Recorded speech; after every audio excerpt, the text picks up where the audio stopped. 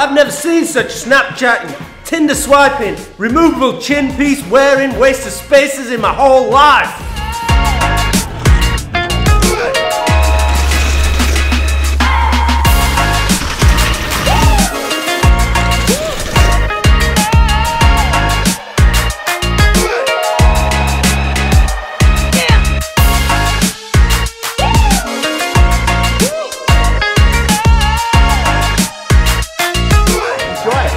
Fun time. Thanks, Douglas.